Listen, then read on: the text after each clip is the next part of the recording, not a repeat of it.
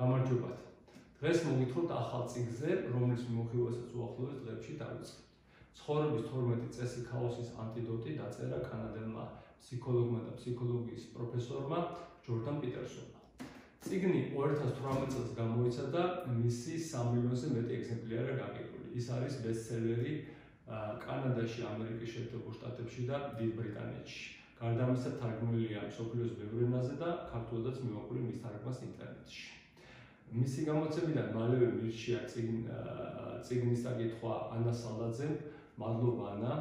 აა მალევე მაჩუკეს დაბადების დღეზე და ძალიან მომეწონა ჯორდან პიტერსონის ფხიზელი და ვაშკაცური ხედვა ცხოვრებისადმი. ეს მიმოხილვა ჩემ წიგნის ჩემო ხედვას ასახავს შეკუმშულად. აა რატომ შევარჩიე ეს წიგნი და არა სხვა? იმიტომ რომ ეს წიგნი სასარგებლოა ყველა დროში, რადგან ასახავს ცხოვრების რეალობას და ამ რეალობასთან ურთიერთობის გზებს. აა ცხოვრების 12 წესი განსაკუთრებით სასარგებლოა დღეს, როდესაც ამდენი სირთულე და გაჭირვება საქართველოსშიც და მთელ მსოფლიოშიც. ამდენი ადამიანი არის დაბნეული, განიცდის უიმედობას. ჯორდან პიტერსონმა უამრავ ადამიანს დაანახა გზა.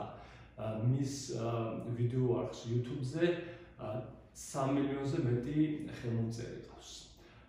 ცხოვრების 12 წესი ქაოსის ანტიდოტი.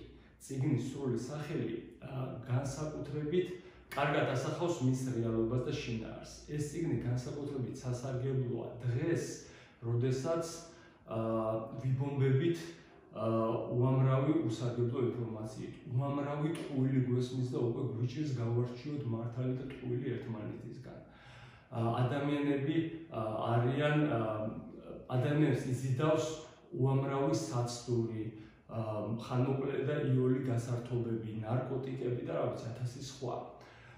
შესაბამისად ციგნი სთავაზობს ადამიანს აა შხამს საწინააღმდეგოს ამ ბევრი ხანმოკლე საცდურისა და განსაცდელის ეპოქაში. ციგნის ციგნის შესავალში ჯოდა პიტერსონი გვიხსნის ცხოვრებისადმი საკუთარ ხედვას, რომელიც მოკლედ დაახლოებით ასეთია: თითოეულმა ჩვენგანმა უნდა ავიღოთ პასუხისმგებლობა ინდივიდუალურ სიცოცხლეზე, საზოგადოებაზე და მსოფლიოზე. ჩვენ უნდა ვთქვათ სიმართლე, შევაკეთოთ ის, რაც გაფუჭებულია. ახლი და შექმნათ ის, რაც შეკეთებას არ ექვემდებარება. ეს ძალიან ბევრია. დიდ პასუხისმგებლობას გვაკისრებს, მაგრამ ყველაფერს გვაკისრებს, მაგრამ ამის ალტერნატივა ქაოსი, ავტოკრატია, ჩამოქცეული სახელმწიფო და ადამიანების უაზრო არსებობა ბევრად უარესია. ახლახანს ერთმა კარგმა ქართველმა საუბარში ეს კაცრი ხედვა უფრო რბილა და სხვანაირად ჩამოაყალიბა. ადამიანი მუდამ ესრაფის სიამოვნებას, ეს მისი ნორმალური მდგომარეობა. ამავე დროს ხამოკლე და ირული სიამოვნებები გვაკარგინებს ბევრად უფრო დიდამდგრად ბედნიერებას.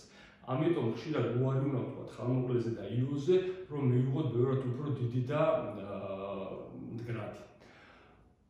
რომელი ვერსიისაც არ უნდა ჯეროდეთ თქვენ მე დავწუნდი შემდეგში. ან ვიღებთ პასუხისგებლობა საბოლოო შედეგზე და უარს ვამბობთ ხალმოკლე და იუს ემონებზე ხშირად რომ მივიღოთ ბევრად უფრო დიდი და მდგრადი ცხოვრებაში, ან მუდამ გავატარებთ ცხოვრებას ხალმოკლეს ემონების დევნაში და ქაოსში. აქ დაგემშვიდობით პატრიცემულო მაყურებლებო, მადლობა რომ ისმენთ, იმედი მაქვს მოგეწონება ჯორდან პიტერსონის ცხოვრების 12 წესი ქაოსის ანტიდოტის მიმოხილვა. უყურეთ ჩემს ვიდეო ბლოგს და იკითხეთ კარგი წიგნები.